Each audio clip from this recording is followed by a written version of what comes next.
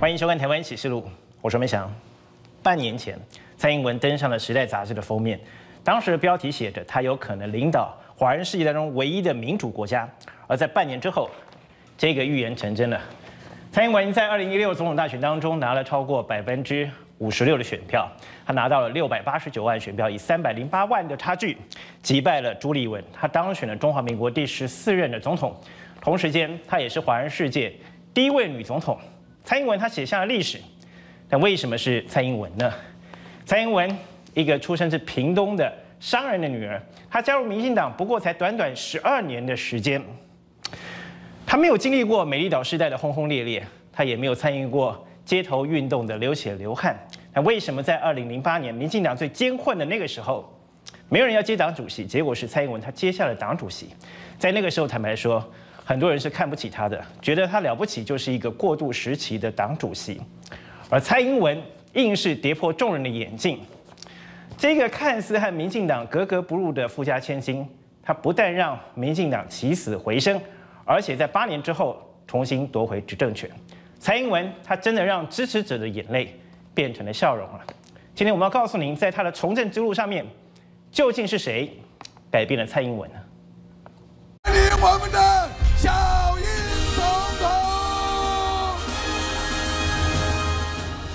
曾经说过，我攀我拼了命也要把各位的泪水转换成笑容。各位，我们都做到了。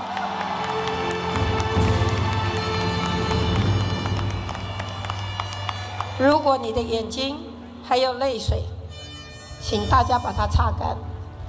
我们一起。用快快乐乐的心情来迎接台湾新时代的开始，好不好？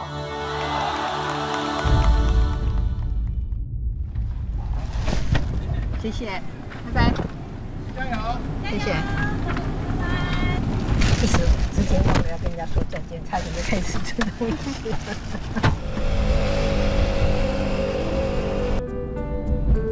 蔡英文当着镜头前，一手就把包子塞进了嘴巴，也不管镜头有没有在拍了，填饱肚子再说。可以看着过去四年来，大概是所有他出现在画面上吃东西最多的时候。在过去，其实基本上他会觉得吃东西很自己，或者是当幕僚跟他一起吃饭的时候，他会多叫一些菜。那到了吃的到一半的时候，他会注意去看看啊这些幕僚或是随扈，因为哪些好像今天吃的比较少，他就会把多出来的菜。端到你面前，跟你说：“哎，那你要吃完才能起来。”养花莲的东西好好吃哦！我每次来花莲都觉得花莲东西好好吃。主席，你最喜欢吃花莲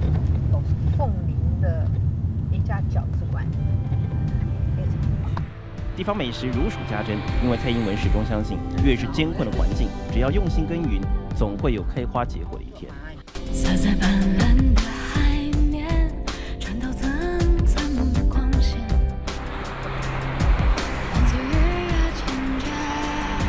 这几年来这里常来啊，我常常在呃台东花莲之间这样走，而且我特别喜欢台中跟花莲之间的这条路，那个花东纵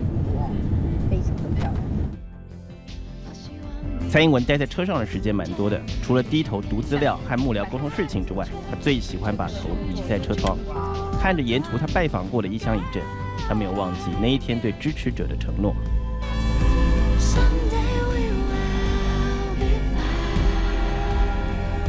二零一二年的总统大选结束了，胜负已定。蔡英文位在新北市的全国竞选总部前，黄色人海迟迟不散，任凭雨滴打湿他们。八十万票的差距，到了最后好像也没有办法再有什么调整了。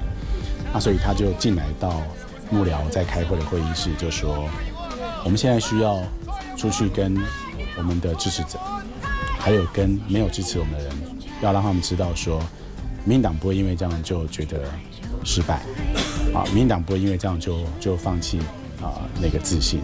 那但是我们同时也要告诉我们的选民，他们也不可以因为这样就失望，因为这个国家还要往前走，啊，我们会更努力。我知道这一次啊，我们就用这个调子来告诉大家，所以当然很快这文稿就可以走。我要请大家回想一下，四年前我们曾经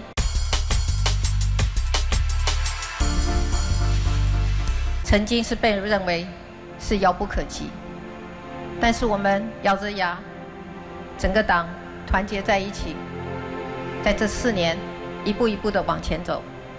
这一次，我们已经接近山顶，我们还差一里路，就差一里路，就差八十万票。别忘了，四年前国民党秋风扫落叶，赢了两百多万票。当时的民进党气若游丝，是蔡英文把一个收到病危通知的党带离开了加护病房，一点一滴慢慢的修补元气。我相信，只要大家继续站在我们身后，给我们支持，给我们鞭策，我们一定还有未来。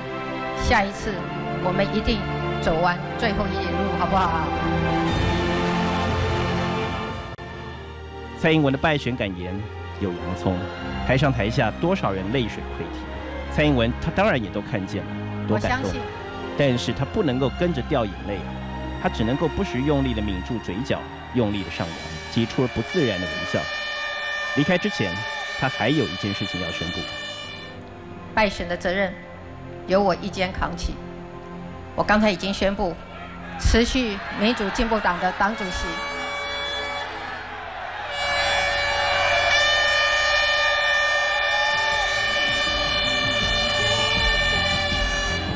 台下支持者哭喊着不要走，但对蔡英文来说，留下来从来不是一个选项，输了就必须走人，这是民进党创党以来的坚持。不过，当蔡英文看见了这些心碎哭泣的脸庞，他也明白他身上背负了六百多万票的期许，他不能够抛下支持者，说走就走。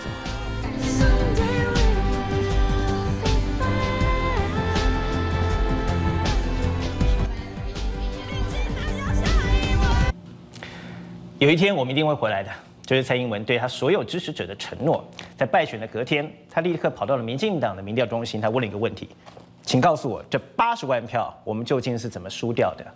他不是想要追究责任，他只想知道答案。有人告诉蔡英文，答案就在民间。你只有到民间去，和人民真正站在一起，和人民真正生活在一起，你才能知道人民需要什么，而你又能够给他们什么。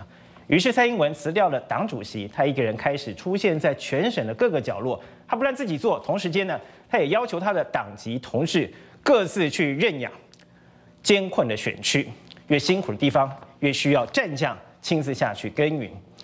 在四年前，我们看到了在后山的部分，蔡英文输得非常惨，他只拿到了不到百分之二十六的选票，马英九。席卷了七成的选票，换作是别人觉得后山这一块根本铁板一块，无心去耕耘的。但蔡英文不一样，经过了四年耕耘之后，我们看到这一次的选举的结果，尽管在花莲和台东依旧是蓝军的天下，但是我们看到双方的差距缩小了。蔡英文拿到了百分之三十六，将近百分之三十七的选票，而其中更具有象征意义的是，小美琴在这个地方默默蹲了六年之后，她终于击败了国民党的王庭生。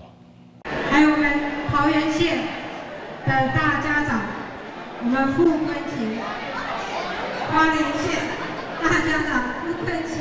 他自己也学习的很快嘛，现在也在那个群众场合也会开群众的玩笑，然后他有时候会问说：“哎，呃，你们大家要答应我一件事情，好不好？”底下人就说：“好。”他说：“我都还没有讲什么事，你们怎么就说好？”就大家就哈哈大笑。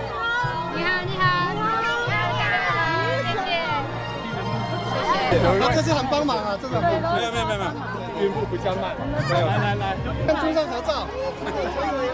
来，你看村长，我把准备过程。这几年在花莲，大家对我们的印象都比较深，那印象也会比较深。长期以来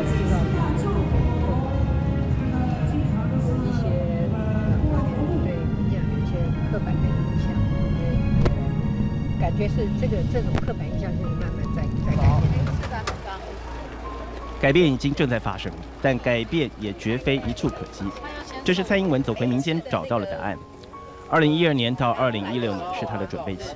过去四年他已经改变的够多了，但显然民众要他改变的更多。面对群众比较自在一点，就是说，当你比较习惯我比较自在一点，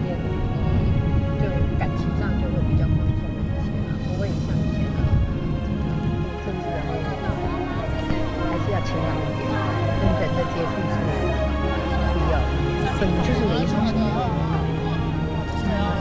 你还要去看他们的眼神，有些人他就很 expression 怎么样，他就是要跟你互动，那你可以感觉。但有些人不好意思，他会站得远远，但是他并不想，他他并不是说讨厌你或者不想跟你玩，他就是不好意思站那，所以你就要走过去跟他打招呼，刚开始的时候，如果人家没有伸出手，我都觉得哦不太好意思去那个，我现在会直直的就走过去跟他握手。我好了。来，阿九六按麦六麦六哈，来，谢谢，谢谢，谢谢，谢谢。每握一双手，蔡英文都在深刻的反省。二零一二，你有投给我吗？如果没有，一定是哪里做的不够好，不够多。当他沉淀过后重新出发，他告诉自己要把民间的力量找出来。九合一大选前，蔡英文他展开了全台疯狂的大扫街。蓝绿对决中台湾，他甚至直接搬到了台中去住。如果一天可以去十个地方，幕僚只排了九个，肯定会被蔡英文念个半天。他说他是个带兵的人，只有他比谁都拼命，热情和决心才会被激发出来。一个孩子看到自己的父亲被用这种方式攻击，这是多大的震撼！但是嘉荣仍然坚持打正面、阳光的选战。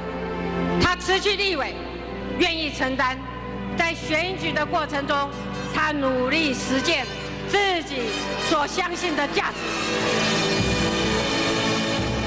有人形容，这大概是蔡英文史上最豪情奔放的演讲。和过去那位低头看稿的蔡英文，简直判若两人。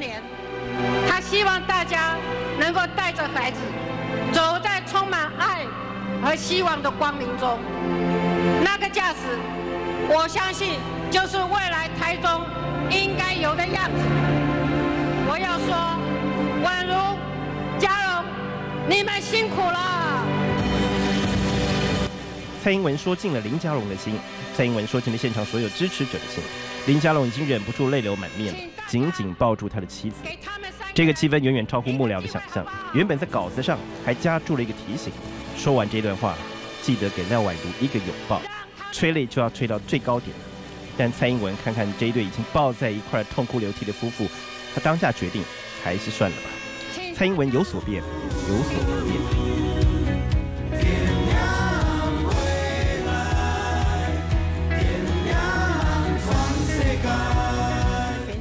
隔天开票结果，民进党大获全胜。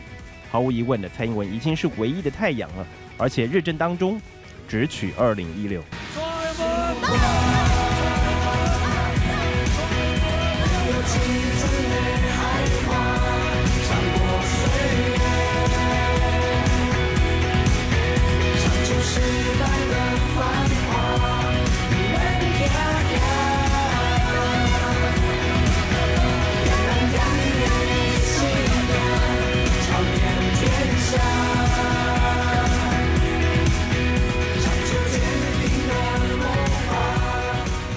成为中华民国第一位的女总统，对于蔡英文来说，真的是最意外的人生插曲了。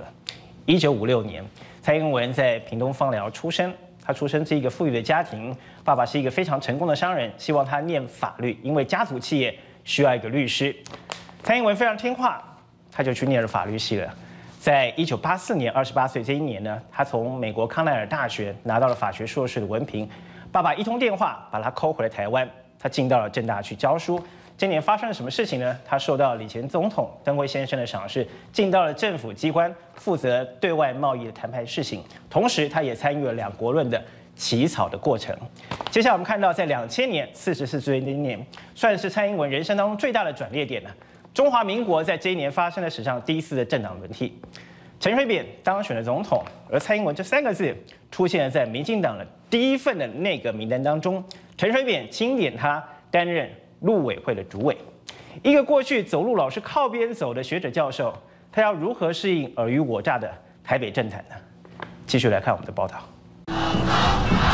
总统好，总统好。两千年总统大选结果揭晓，中华民国史上第一次政党轮替发生了。这一年，蔡英文的人生也跟着转了一个大弯，他的名字出现在民进党第一份的内阁名单。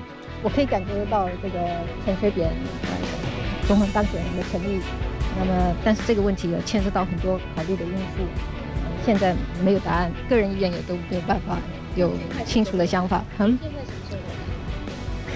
这个恐怕我还在征询很多人的意见。钦点他的人就是新任总统陈水扁。当年蔡英文四十三岁，很想问陈水扁为什么是他呢？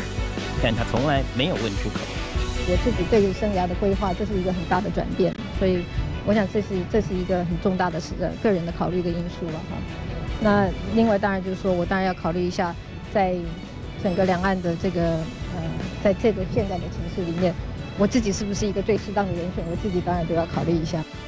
学者从政常常过不了立法院那一关，有多少学者出身的政务官上了备询台，有理说不清，常常把自己气得半死。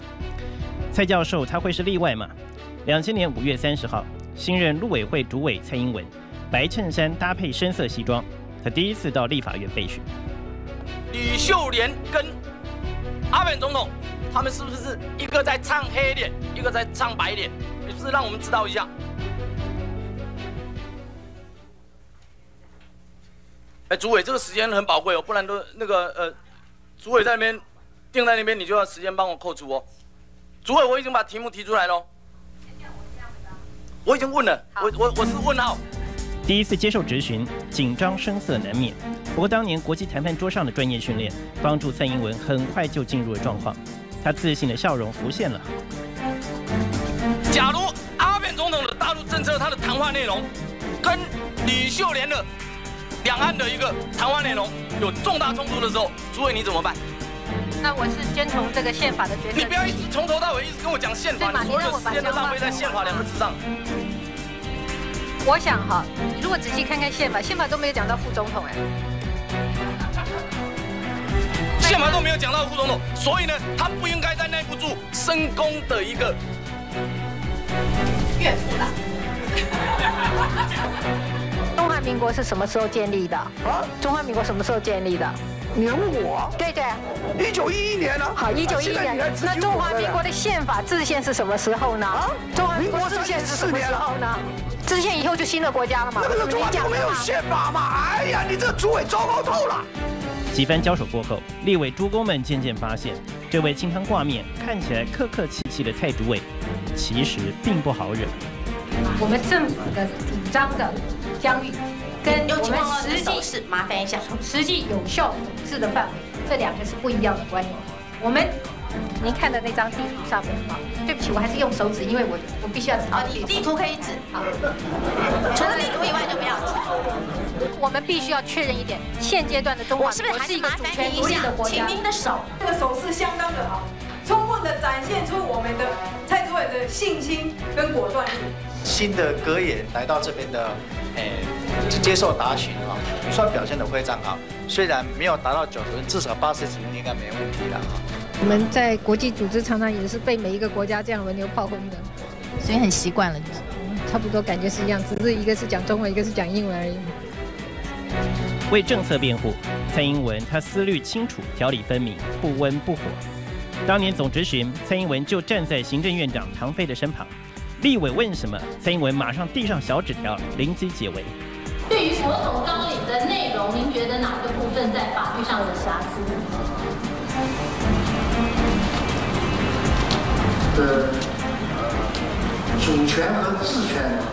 来不及写的，蔡英文直接小声的在唐飞耳边说，他说一句，唐飞答一句，结果把立委给惹毛了。林院长都是听他的嘛，可不可以请他离席？可不可以？他一定要在吗？他一定要在吗？一定要在吗？一定要一定要指导你吗？我要向王委员报告。啊，请，可以请他不要讲话呢？我们是问你啊，怎么说他在答呢？那您打嘛，都是他在教你嘛。请你给我讲话机会吧。都是听他的嘛。他当院长好了。哪个问题不是他在旁边嘀嘀咕嘀嘀咕的？哪个问题不是他在讲？这还在讲？你看都是他在讲嘛。三军活了几十年了，尤其您是老参谋总长，您作何感想？您作何感想？有陆委会也要答，国防的问题您也答，什么都答。蔡英文的表现让很多人刮目相看。立法院的记者发现，他们的观察错了。蔡英文哪里娇弱，哪里木讷？她是一位既犀利冷静又强悍的女主委。你收入那时候的收入有多少？有多少钱？委员收入是我的私人的事情，跟大家的老百姓讲出来。委员收入是我的事情，这个你的事情是国家的事情，我有财产都有申报，你不要在我的财产上做文章。那么如果说司法有问题的话，请请司法机关来调查。我觉得这个事情已经是问过头了。我没有问过头，我是在你有没有逃税上来问你。看你是不是很干净？我告诉你，我没有逃税。啊，如果我有逃税，你有合理的怀疑的话，你可以请司法机关来调查。但是没有没有合理的怀疑的情况，你在这里问这个问题，我觉得是不恰当的。你一年要给大陆新娘配额几个？这个我们要看整体的人口政策。什么叫整体人口政策？台湾的整体这个是岛屿政策。如果说我们的人民要跟大陆结婚，你要禁止他吗？你不敢很坚持说我们的国号就是中华民国你这个是栽赃。我你刚才问我私人的意见，我刚刚告诉你我个人意见。但是我只会问你说，人家没有讲过的话，你为什么要说人家有讲呢？我本来想说。你很软弱，那但是我曾经听过你一场的演讲啊，我突然间就改观了。你面对的是最强悍的女人了，她名字叫陈文健。没多久，蔡英文在内阁施政满意度调查排名第一，媒体给她了一个封号，叫做“政坛白玫瑰”。两千零四年公投辩论最后一场压轴戏码，号称“白玫瑰”蔡英文对上“红玫瑰”陈文茜，这两个聪明女人的言辞交锋，未演先轰动。我们台湾人民共同拥有的这个主权是有争议的吗？在我们的心里是有保留的吗？如果我们是没有保留，我们是没有争议的，那这个它就是一个存在。那么我们也不需要刻意的去争执它，刻意的去提它。你如果是过度的去提它，或者是争执它，反而显现出来你对你自己国民的主权是没有信心的。如果对主权有信心。为什么可以发动防御性公投？第十七条说，我们的主权现在要被改变。你既然有信心，你哪来被改变之余呢？我早说过，她是台湾其实继郭婉容之后，我觉得最优秀的女性阁员。那我想今天大家可以看到她的专业。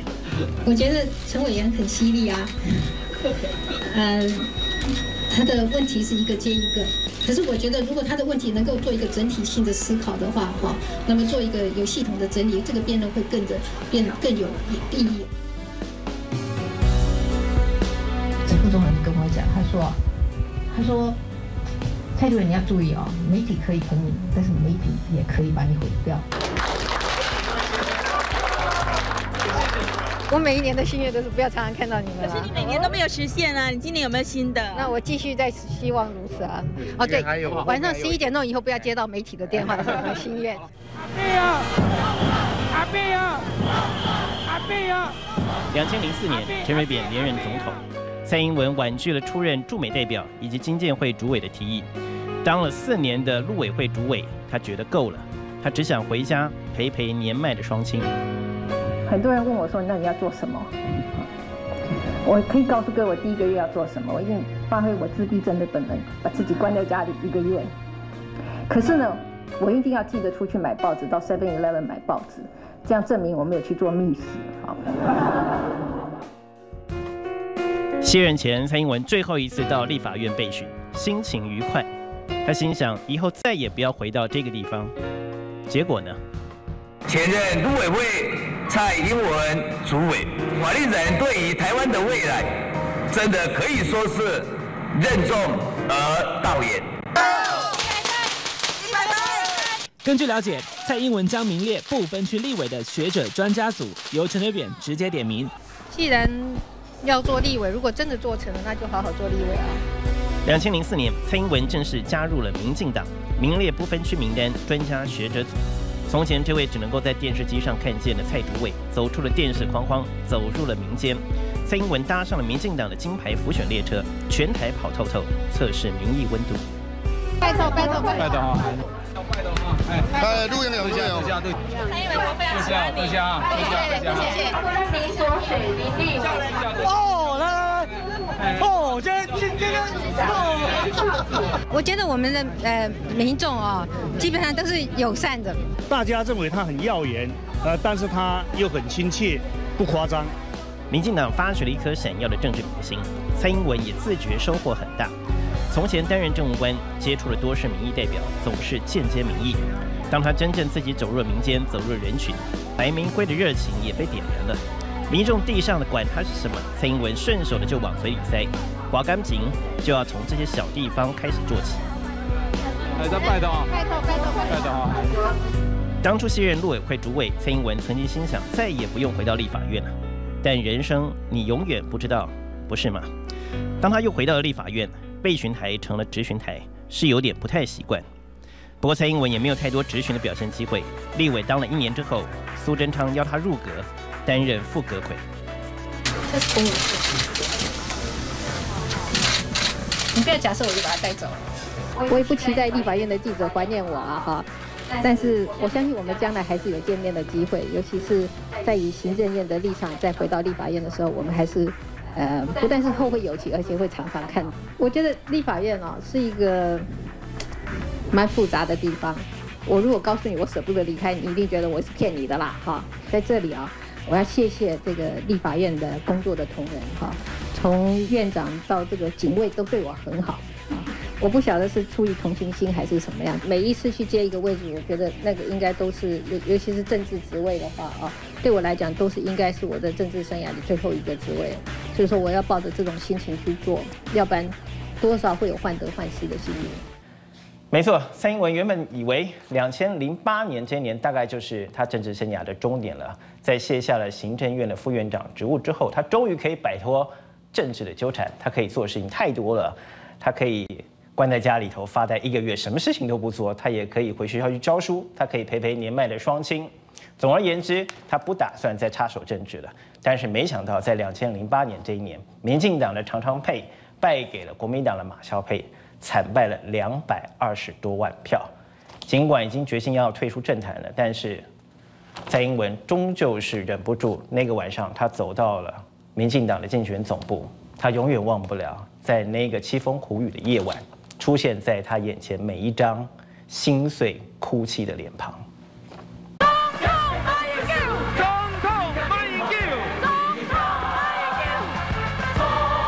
两千零八年三月二十二号，总统大选结果揭晓，民进党常常配惨败给国民党马萧佩两百多万票。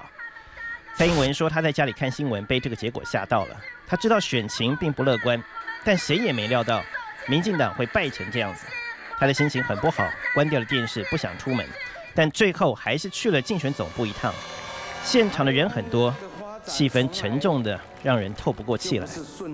很遗憾，民主进步党这一次的表现不如预期，我们辜负了人民的期待。在此，我应该也愿意负起最大的责任。我们接受。不要再有抗争，让我们的社会非常迅速的能够修补因为选举所留下来的裂痕。台湾蔡英文没有上台，他在后台看电视转播，他注意到站在谢长廷左后方的萧美琴，她一双大眼睛哭得又红又肿。那个晚上，有多少人为了民进党的失败？而痛哭落泪。我没有投票权，我才十九岁。但是，如果我可以投的果我可以做任何一件事情为台湾，我真的是想要努力去做。但是为什么就是没有人听到我们的声音？这因素应该是蛮复杂的，不过我想我们应该好好的反省，真的。淡出政坛已经半年多的蔡英文，在人群中被记者拦下了，问了一个问题：除了深刻反省，还有什么好说的呢？两千零八年五月，在那个对民进党支持者来说最彷徨无助的一个春天，春天的希望在哪呢？输了两百多万票，民进党气若游丝，像是个接到病危通知的病人，垂死挣扎。谁能挺身而出，救救民进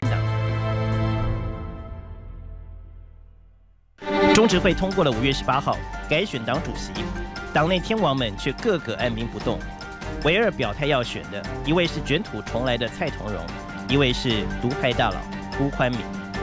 民进党不太了解妇女朋友，而我们的女性朋友对民进党也有很深的误解，所以我期待一个女性的党主席来带领民进党。也已经在期待一个女性党主席，这位女性会是谁呢？她没点名，但外界猜得不离八九。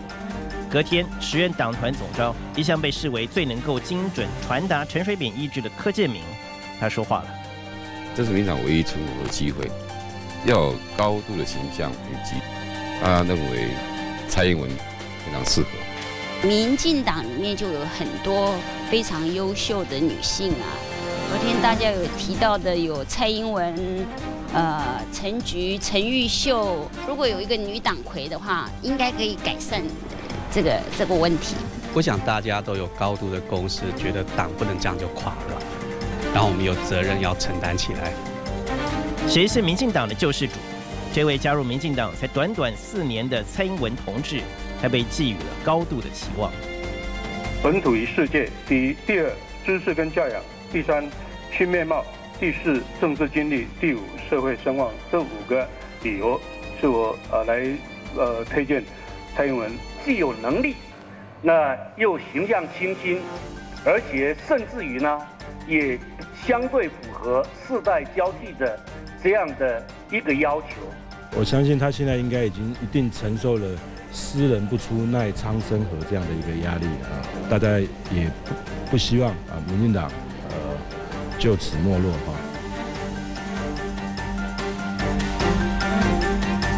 阿扁啊，希望的大概是说，如果我要回馈，应该可以回馈给民进党，好，让这个民进党可以在最困难的时候能够站起来。李远哲院长都来催瓦工，人家最困难的时候，立马哎想到说，如果人家觉得你有可以帮忙的，阿立马去阿刚帮忙。和李远哲谈了两个钟头，蔡英文答应会再好好的想想。他自问，如果自己本身没有能力，也没有背负任何其他人的期待，他也许还可以置身事外。可是他明明可以有所作为，却选择不作为，那么他一辈子都不会原谅自己。几天之后，蔡英文做了决定。我知道现在，嗯，民进党的党员多多少少有一些人，哈，呃，是意志比较消沉，哈。那我们也希望他们赶快的恢复他们的意志，啊。那呃，用实际的这种行动来表示他们对这个党还是在意的。党的路线就是你家到投票所的路途。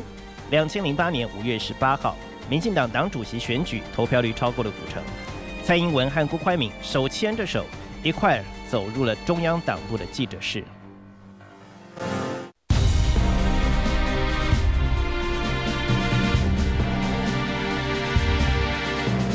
我们投票率百分之五十一，啊，百分之五十一，啊，你看看哦，这不是总统选举，不是什么立委啊、直辖市选举，十三万的同志啊，并没有放弃这个党，关心这个党，那么大家共同完成这个程序，把这个党撑起来。蔡英文拿到了七万三千八百多票，得票率五成七，击败了辜宽敏，她成为民进党历史上第一位女党魁。也是最年轻的党主席。我也要感谢呃辜宽敏跟蔡总两位前辈啊，在竞选的过程中提出很多珍贵的指教。那么这些指教我都会珍惜。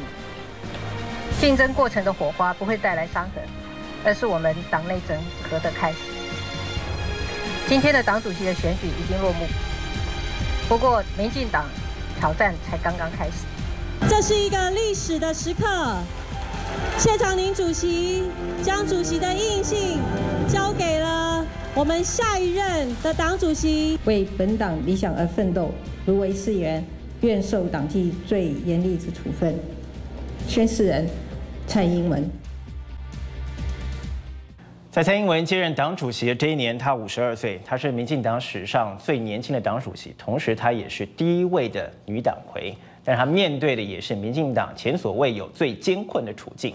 首先，他要面对的是陈水扁一家的贪渎弊案，重挫了民进党的形象，整个党的民意支持度掉到了两成以下。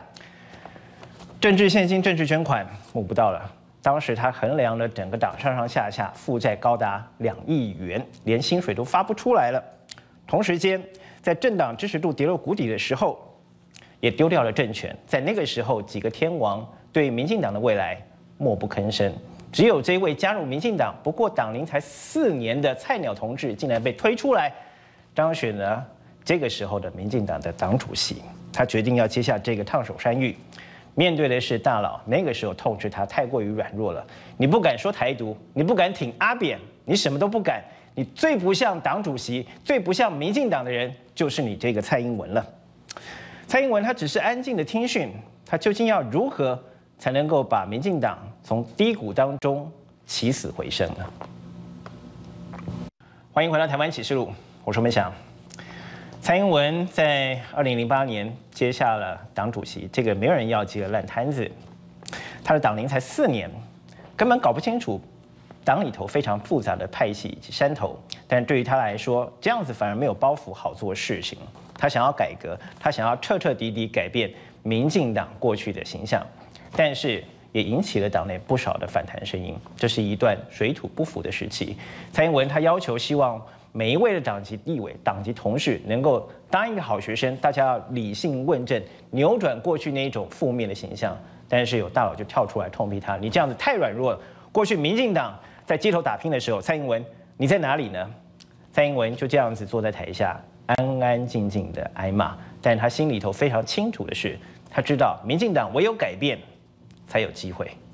你买一盒回家，先关在房间里面，早上睡醒的时候，整个房间都是芒果香，然后一点这样撕开来，把那个皮贴着脸上。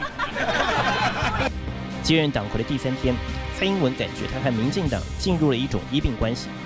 这个党是生病了，他是医生，他该怎么办呢？就像是心理生病的人要走出户外，多多晒点太阳，阳光给人希望。而这个党并没有病入膏肓，只是需要一个希望，一个目标，他会自己好起来。是啊，都比较常坐办公室啊。现在当主席是不是要常跟民众这样？先买一下洋葱。对啊，感觉怎么样？会不会觉得很困难？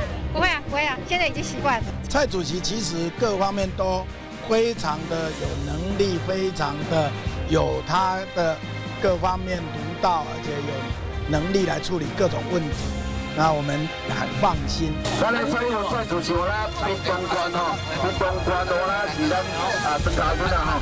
办公室您更喜欢这样的？啊，对，办公室空调不太舒服，这个比较好。只有擦防晒吗？没有哎，没有，也不戴帽子，自然美了。当家做主的第一天，巧妇难为无米之炊，家里头的米缸空了。算一算，负债两亿多，党部连薪水都快发不出来了。爱台湾的海员就去捐款啦！哦，海员真了不起。那你捐了吗？怎么可能？怎么可能不捐呢？我是蔡英文，恳请您用小额捐款挺台湾。候选人的财力决定这个选举的结果，这是一个。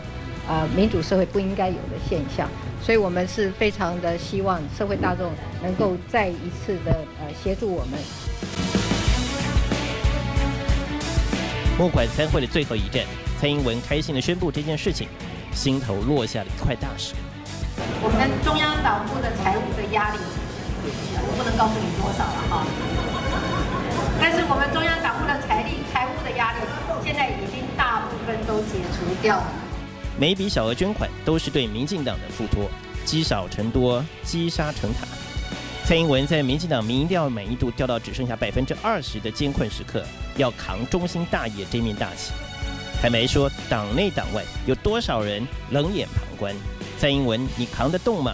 你能够把民进党带到哪里的？我的意思是说，我们要忘掉以前别人看衰我们的那个、那个、那个、那个坏榜样。那我们。自己不要去呃跟他们一样，然后我们要理性问政。哎，我的咨询啊，咨询也要保持一定的礼貌。哎，我我快快快的牙冠出现了，开玩笑，你想总统嘞？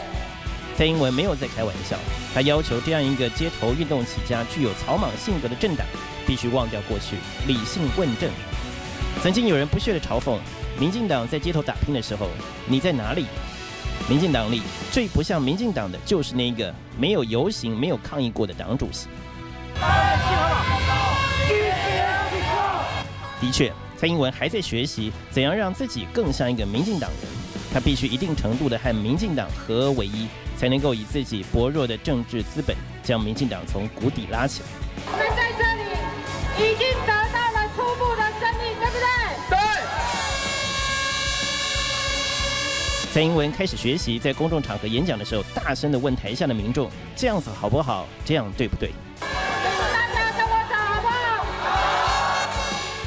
他开始习惯造势场合大进场，刻意的从后端进场，在走到台上的一路上去拍击每一双热情的手掌，去接受民众的欢呼簇拥。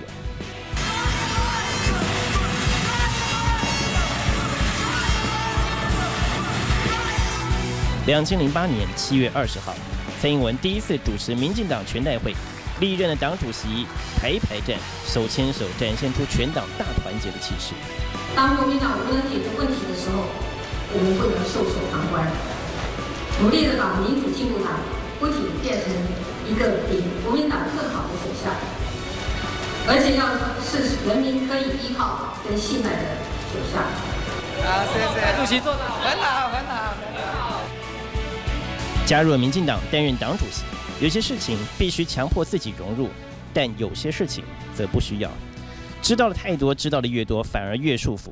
曾经有人批评蔡英文是个被派系绑架的党主席。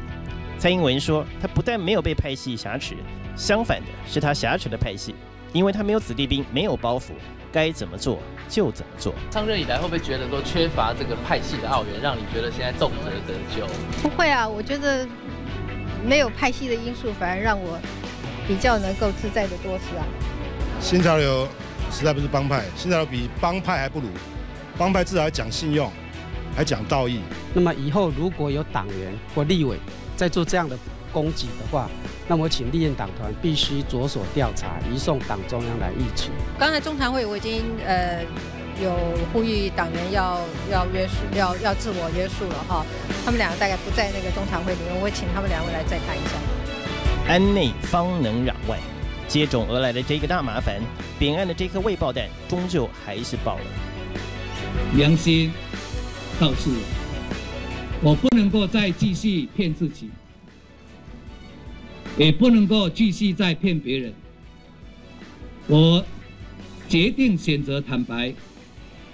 我曾经做了法律所不许可的事，我愿意就从市长到总统大选四次选举有关竞选经费有申报不实，敬向全国人民深深的道歉。两千零八年八月十四号。陈水扁在镜头前向全国人民坦诚，他做了法律不允许的事情。这短短几个字，晴天霹雳。面对这可能是对民进党的致命一击，党主席蔡英文，你必须表态。我们也不要太早或者是过度的去论断啊，陈建总统他所作所为啊，在法律上是应该要怎么样去评价他哈。这个事情在民主社会，我们应该让司法单位哈来替我们的全体的人民来做这个调查，做这个评断。面对扁案，蔡英文没有丝毫的回避空间，是敌是友都要他说清楚。我们希望他们不要参加任何有关于停扁或者是反扁的任何的活动啊。那么我们也不希望他们对外。发表个人的言论。那么同时呢，我们也希望就是说，不要牵涉在派系的运作。这位民进党史上最年轻的第一位女党魁，曾经安静的听着大佬们一个个轮流上台训话，这个嫌她太软弱，那一位要她硬起来。陈水扁前总统第二本新书声音果然关不住，他痛批民进党主席蔡英文后悔提拔他。在执政的时候对蔡英文的提携，那今天他仍沦为哈，在在看守所这边，那蔡主席对他的关心，我想每个人都知道了哈，其实也没有什么关心他。蔡英文听到问题转身就走，根本不想回答问题，不过态度很强硬，他没办法理解这样的批评，那也很遗憾。有这样的看法，那事实上也无法接受。当年谈判桌上的专业训练，在这个时候冷静了蔡英文的情绪。他记住了一个原则：在压力下仓促做的决定，通常都是错的。一个慎重的指挥官不会在敌情不明的情况之下就下令部队攻击。如果你让对方知道有压力就有结果，将来对方就会不断用压力来逼迫你。而不动声色，其实就是蔡英文发动攻击前的保护色。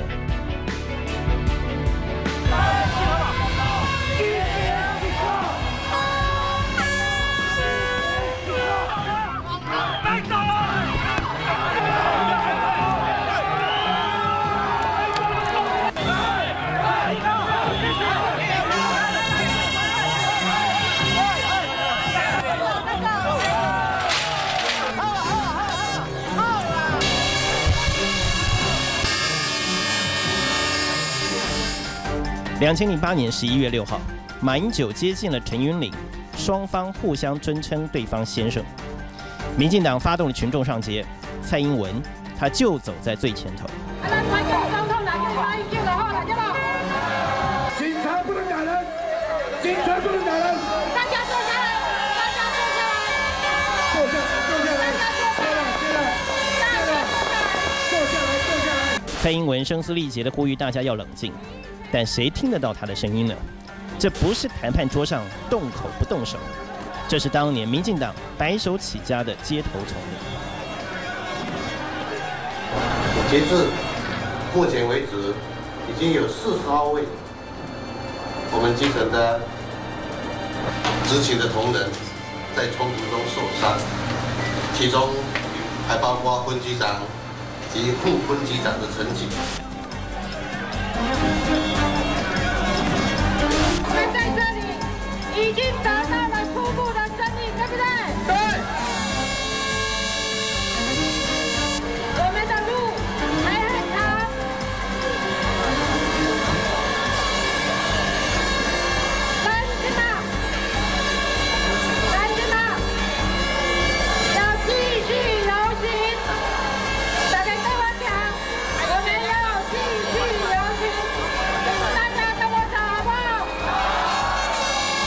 这时候群众已经喊不动了，完全的失控。陈云林访台五天，台北街头就乱了五天。国民党痛批蔡英文没有能力，就别把群众带上街头。昔日理性冷静的政坛白玫瑰，被贴上了暴力小英的标签了。我们的总统是一个独裁而镇压人民的总统嘛？那我不愿意这样讲，那我们也不希望，好在政治上不同立场的人去贴贴别人的标签。能够理解我的人，应该觉得暴力小英这件事情是离现实太远了。好，那马英九总统是最不适合评论我是不是擅呃擅长街头运动的人，因为他从来没有参加过。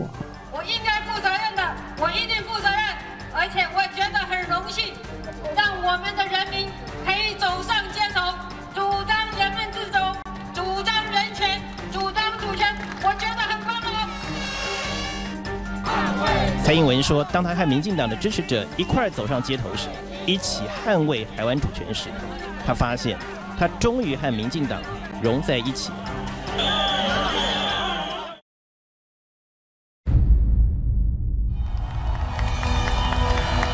今天的选举结果是向世界证明，台湾人就是自由人，台湾人就是民主人。只要我当总统的一天，我会努力，让我的国民没有一个人必须为他们的认同而道歉。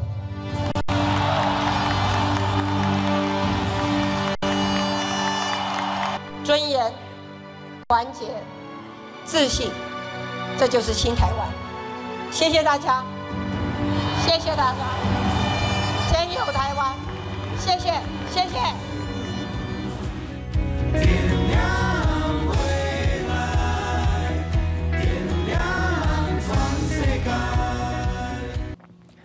中华民国诞生了史上第一位的女总统，这是台湾民主政治的历史新页，值得我们珍惜，更值得我们骄傲。